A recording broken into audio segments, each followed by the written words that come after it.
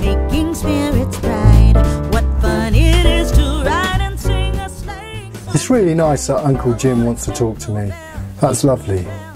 But you know what he's saying? Because I haven't got a clue. It's impossible to lip read through a mouthful of food. Just swallow first, please. And then I don't have to lip read through crackers. I thought I'd take a I was saying, it must be very difficult to lip ride. Was seated by my side. The horse was lean and lame. It is, after all, my Christmas too.